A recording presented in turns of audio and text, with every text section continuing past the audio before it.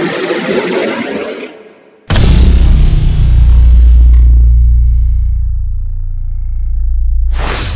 show you my uh, comic book room. This is where it all happens.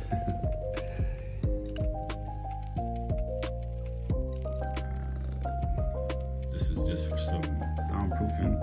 Here's where I keep my stuff for pressing and cleaning.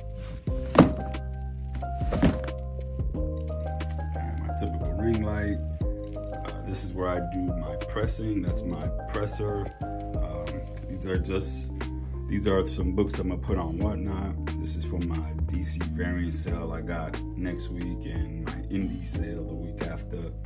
That's my read pile, which is all indie. I usually uh, stack up the miniseries and then read it when it's done.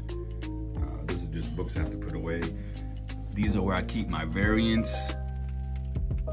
Little niche variants like uh, I don't know, uh, trading card variants, um, maybe Spider-Man 300 homage variants, stuff like that.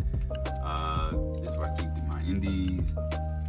These are by my, my favorite artists and stuff like Peach Momoko, Jenny Frison, etc.